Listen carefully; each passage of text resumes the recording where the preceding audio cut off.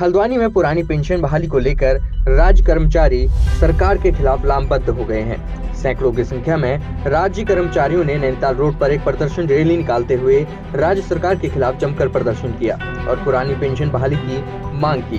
कर्मचारियों का कहना था कि जैसे कुछ राज्यों की सरकारों ने पुरानी पेंशन बहाली की है, ठीक उसी प्रकार से उत्तराखंड में भी राज्य सरकार को कर्मचारियों की पुरानी पेंशन को बहाल करना चाहिए। उन्होंने कहा कि उत्तराखंड के अंदर कर्मचारियों का दमन किया जा रहा है, जिसको कर्मचारी किसी भी कीमत पर नहीं सहेंगे और पुरानी पेंशन की मांग को लागू करवा कर रहेंगे। तो सरकार को बहुत अच्छी तरह से पता है। पुरानी पेंशन हमने बहाल करवानी है तो करवानी है।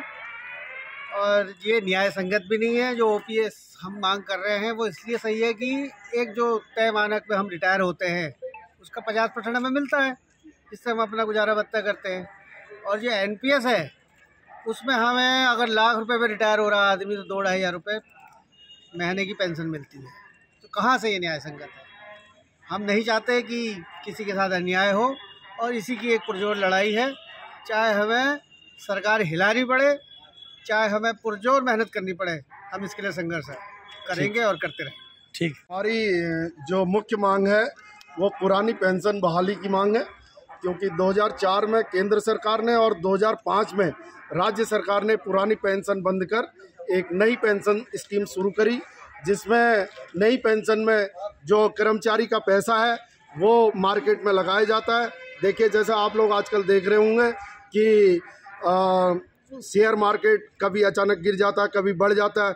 यही स्थिति अगर हमारे रिटायरमेंट के वक्त होगी तो शायद हमारा जो जमा हुआ पैसा है, वो भी ख़त्म हो जाएगा। और पेंशन मिलना तो दूर हमारा जमा पूंजी भी हमें नहीं मिल पाएगी। इसलिए हमारी मांग है कि पूर्व की भांति पुरानी पेंशन बहाल की जाए जिससे कि हमारा भविष्य सुरक्षित हो सके। नाम बताइए पूरा। मेरा नाम भरत नैनवाल। हमारी कोई मांग नहीं है। जो एक केंद्र सरकार ने हमारे 2004 से और स्टेट स्टेट गवर्नमेंट ने 2005 से जो हमारे कर्मचारियों की जो पेंशन योजना बंद करके नई पेंशन योजना लागू करी है, हम, हमारा एक ही उद्देश्य है, एक ही मांग है कि वो पुरानी पेंशन योजना लागू की जाए। क्योंकि जो नई पेंशन योजना लागू की है, ये खाली एक झुंझुना मात्र है। ये पैसा मार्केट में लगाने के सिवाय और कोई, इनका कोई इरादा नज़र नहीं आता है। हमारी एक ही मांग है हमारे सभी कर्मचारियों को जिनकी जो पुरानी पेंशन बंद की गई है वो पूर्व की भांति बहाल कर दी जाए बस। क्या नाम है आपका? रमेश सिंह नेगी।